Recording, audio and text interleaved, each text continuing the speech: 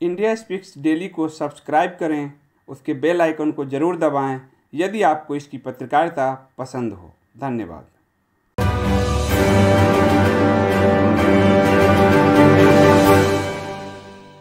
America ने लाल देश के कम्युनिस्ट सदस्यों पर पूरी तरह से रोक लगाने के लिए कदम उठा लिया है। कम्युनिस्ट जो उस पार्टी के वहाँ पर करीब करीब नौ करोड़ मेंबर हैं।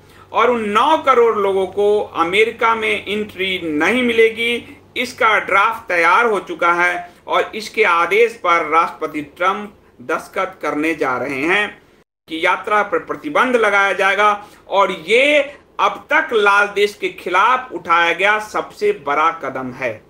सबसे बड़ा कदम है कि कम्युनिस्ट पार्टी का एक भी मेंबर अमेरिका में नहीं घुसना चाहिए। लाल देश की कम्युनिस्ट पार्टी का एक भी मेंबर अमेरिका में नहीं घुसना चाहिए। चाहे वो बिजनेसमैन हो, चाहे वो राजनयिक हो। बिजनेसमैन का मतलब समझिए कि अलीबाबा के जो मालिक हैं, जैकमा, वो कम्युनिस्ट पार्टी के मेंबर है वहाँ।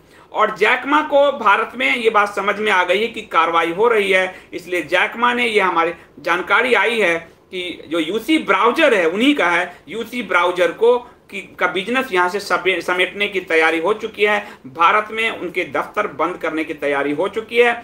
अमेरिका की कांग्रेस में, कांग्रेस पार्टी नहीं, अमेरिका की कांग्रेस यहाँ की संसद में इस बात पर चर्चा हुई। इस बात को लेकर वहाँ के जो कांग्रेसमैन हैं, उन्होंने भारत की सराहना की है कि भारत ने टिकटैक जैसे, टिकटैक में कह रहा हूँ, आप समझ जाओगे, टिकटैक जैसे ऐप्स को बंद करके भारत ने हम एक लीड लिया है, हमें इसको समर्थन करना है और हमें इससे दो कदम जाके, आगे जाकर कम्युनिस्ट पार्टी के जो मेंबर्स हैं और उनकी पूरी फैमिलीज़ है, उनको बैन किया जाए।